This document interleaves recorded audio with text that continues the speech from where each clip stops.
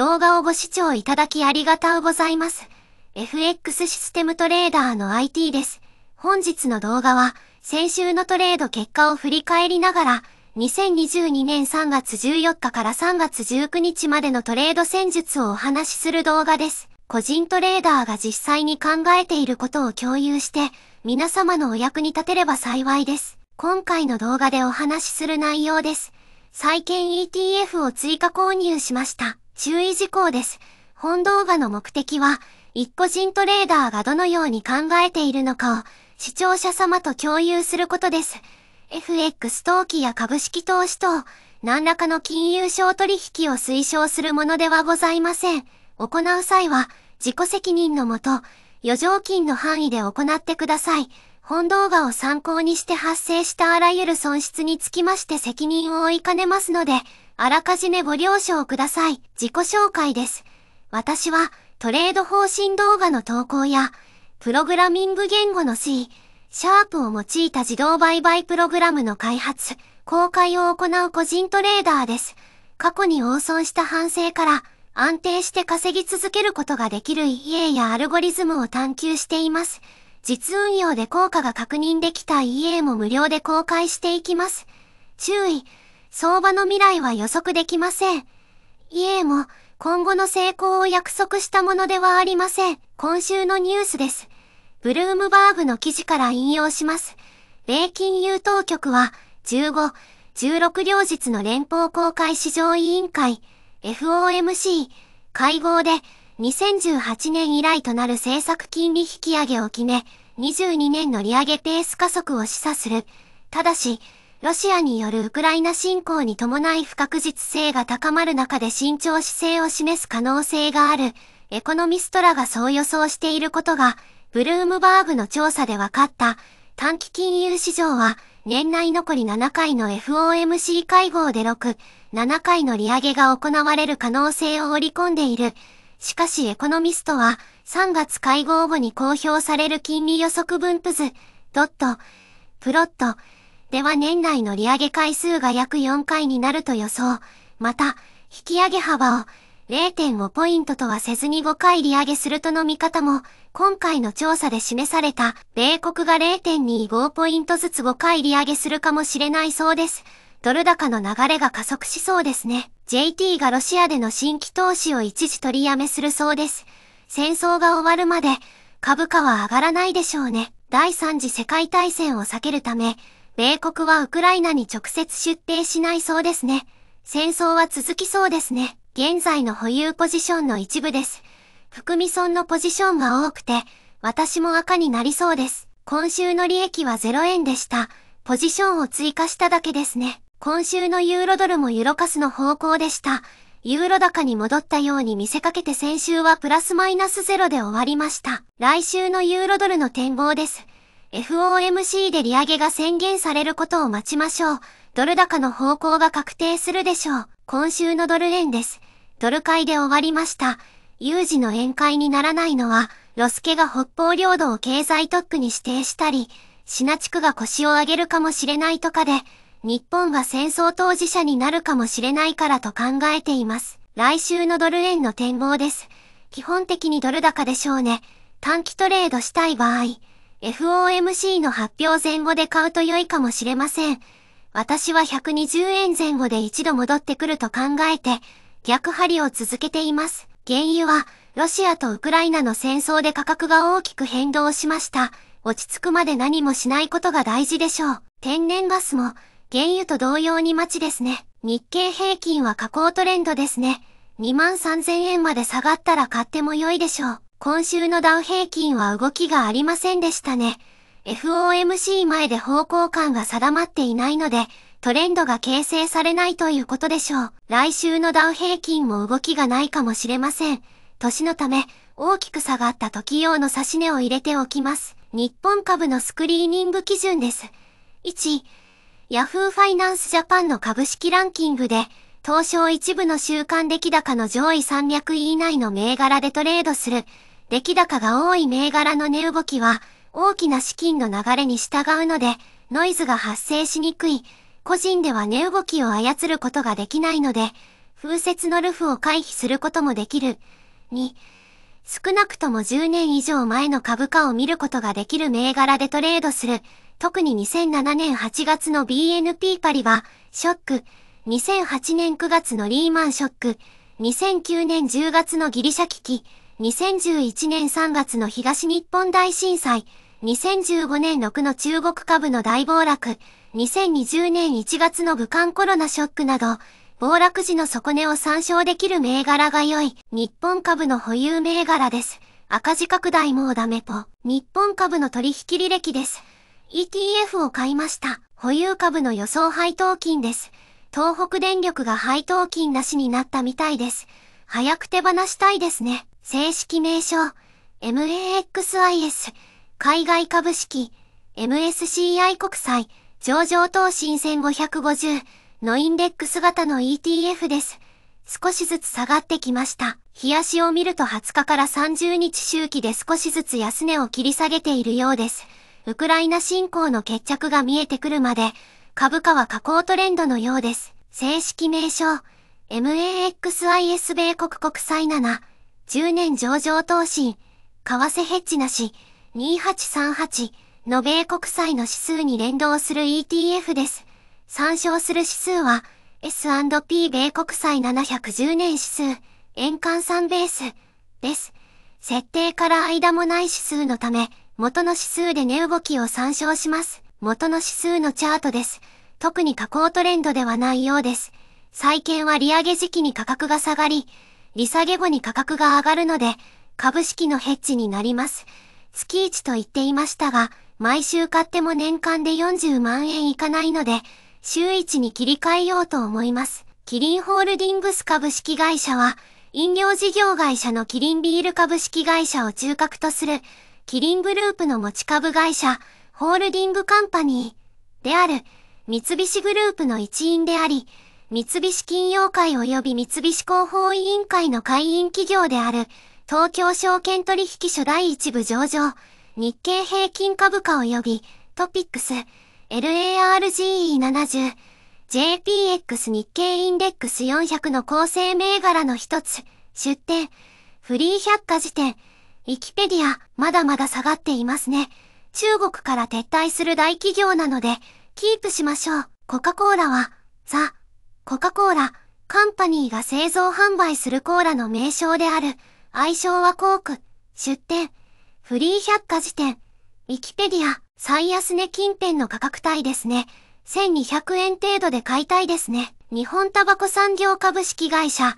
略称 JT は、日本タバコ産業株式会社法。JT 法に基づき設置された、タバコ並びに医薬品、食品、飲料を製造、販売する日本の特殊会社、財務省所管、1985年、昭和60年、4月1日に設立され、日本専売公社のタバコ事業を引き継いだ日経平均株価及びトピックス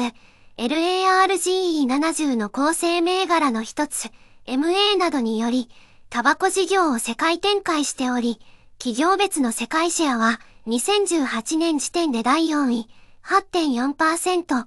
であった2020年の売上高は2兆926億円である。海外に主力を置いており、JT の売上の6割は海外事業でタバコ関連企業世界第3位の規模となっている。出展、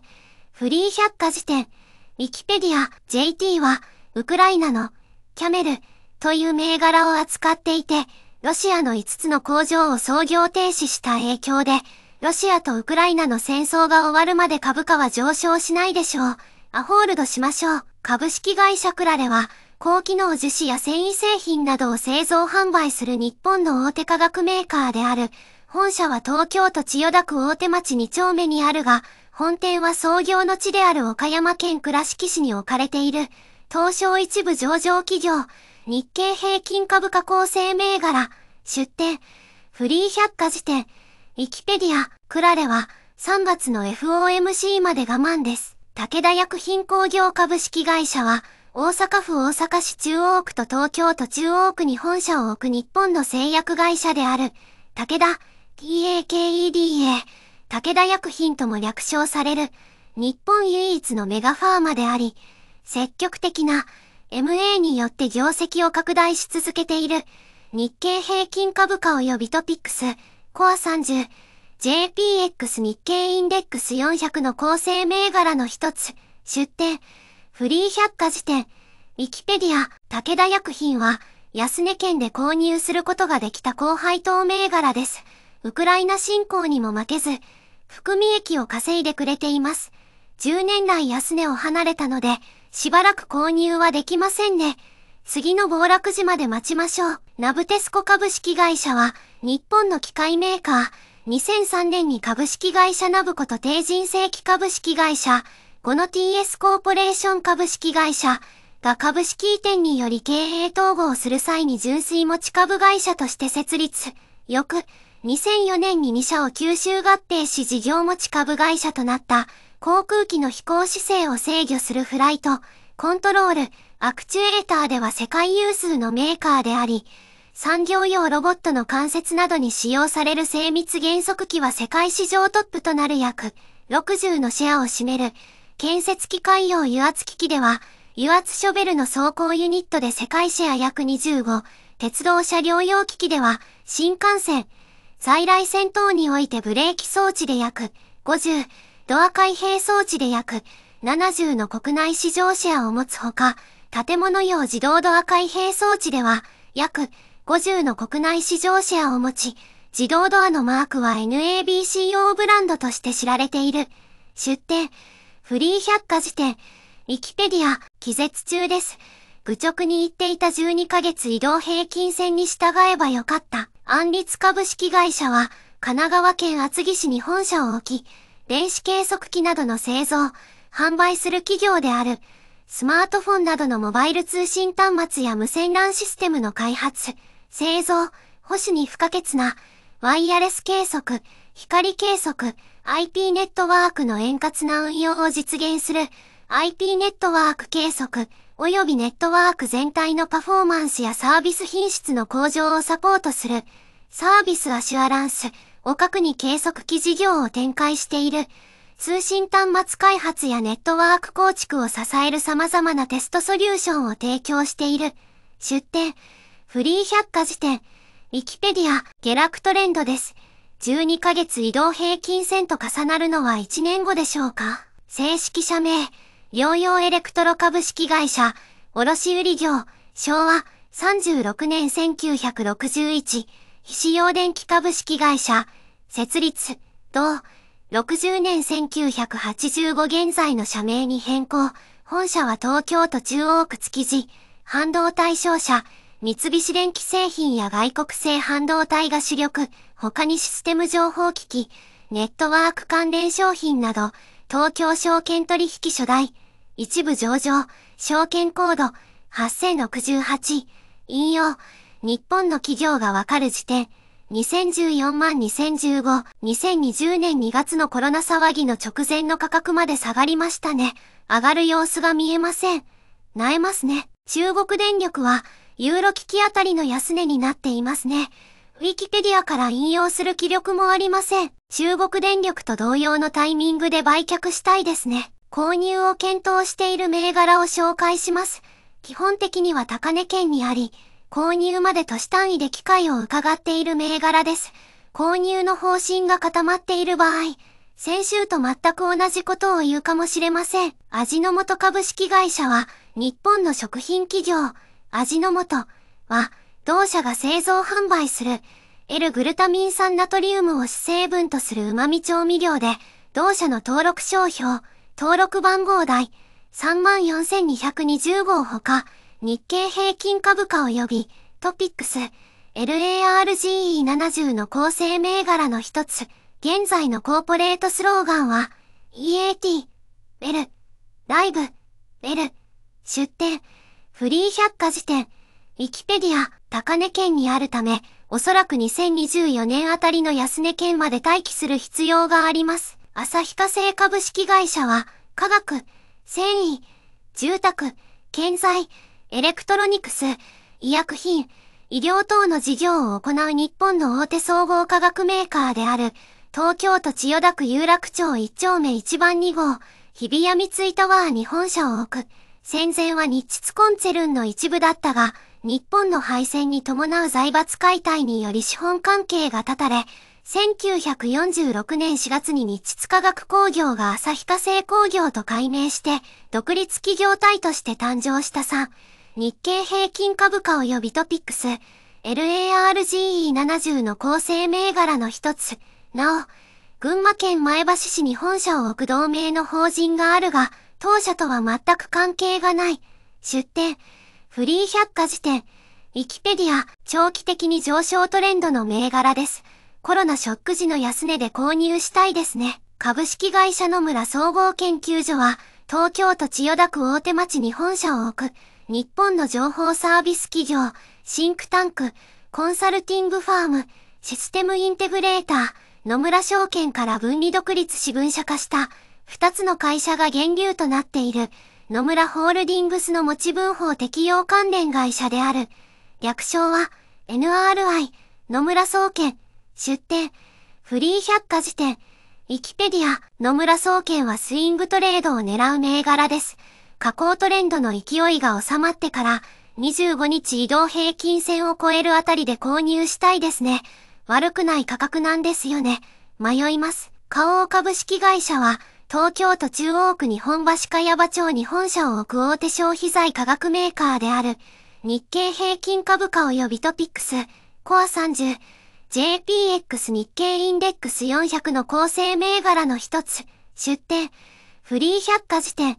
ウィキペディア、花王の株価は下降トレンドにあります。12ヶ月移動平均線が追いつくまで待ちたいですね。2年後でしょうか。テルモ株式会社は、東京都渋谷区幡ヶ谷に本社を置く日本の大手医療機器メーカー、医療を通じて社会に貢献する、という企業理念のもと、医療機器以外に医薬品や栄養食品も手掛ける、1921年設立の100年企業、日経平均株価及び TOPIXLARGE70 の構成銘柄の一つ、出展、フリー百科事典、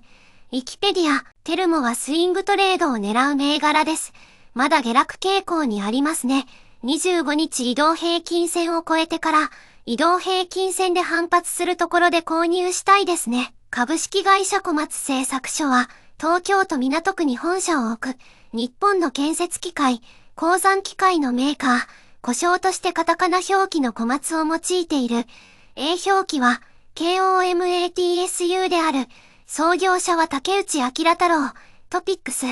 LARGE70 の構成銘柄の一つ。アメリカにおいてニューヨーク証券取引所やナスダックには上場していないが、米国予託証券 ADR を発行している証券コード KMTUY 出展フリー百科事典。ウィキペディア小松の株価が24ヶ月移動平均線より安い価格に下がるまで待ちます。THK 株式会社は日本の大手機械要素部品メーカーである。世界初の LINEAR、モーション、ガイド、と称するレール上を移動する可動部品を開発し、日本国内約70%、世界でも60%を超える高いシェアを持っている、また可動ネジなども主力商品であり、製造機械や自動車の部品として採用されている、ビル等の大規模建物の免震機構にも採用されており、近年いつ、は一般戸建て住宅向けの免震機構も開発している。売上構成は機械要素部品事業が100となっている。THK の名前の由来はタフネス。TOUGHNESS。ハイクオリティ。ハイ。クオリティ。ノウハウ。KNOWHOW の頭文字を取ったものである。世にない新しいものを提案し、世に新しい風を吹き込み、豊かな社会づくりに貢献する、という経営理念を持つ、出展、フリー百科事典、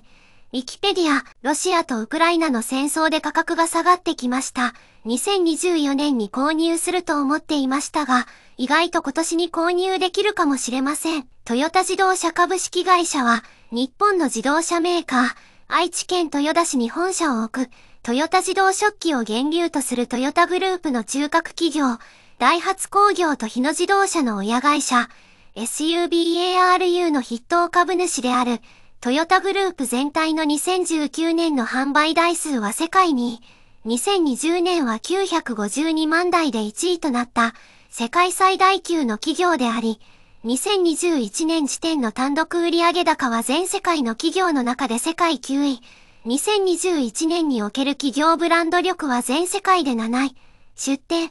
フリー百科事典、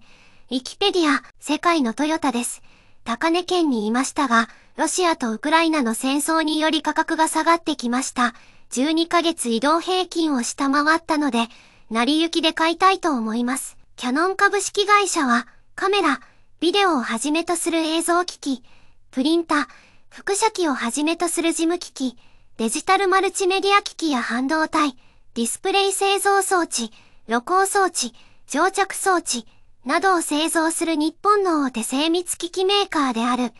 不要グループ、東証一部及びニューヨーク証券取引所、ティッカー、CAJ、上場企業である、日経平均株価及びトピックス、LARGE70 の構成銘柄の一つ、正販が分離しており、マーケティング、販売業務は、地域統括販売会社、キャノン、MJ、CMJ、キャノン USA、キャノンヨーロッパ、キャノン中国、ケーノー、キャノンオーストラリア、を中心に展開されている。出展、フリー百科事典、ウィキペディア、キャノンの株価が24ヶ月移動平均線より安い価格に下がるまで待ちます。2年後でしょうか。株式会社三菱 UFJ 銀行は、東京都千代田区に本店を置く、三菱グループの三菱 UFJ フィナンシャル、グループ参加にある都市銀行、三大メガバンクの一角を占める。出店、フリー百科事典、ウィキペディア、高値圏なので、米国の政策金利が下がるまで、待機すべきでしょう。2025年くらいには購入できそうです。今週のトレード予定のまとめです。緑色のセルは、ポジションを保有していません。黄色いセルの銘柄は、短期間トレードを示します。監視銘柄が増えてきたので、一時停止してご確認ください。お借りした素材や、引用させていただいたサイトです。ありがとうございました。今回の動画は以上となります。もし、参考になった、次回も見てみたいと思っていただけましたら、チャンネル登録をしていただけますと幸いです。ご視聴、ありがとうございました。また次回の動画でお会いしましょう。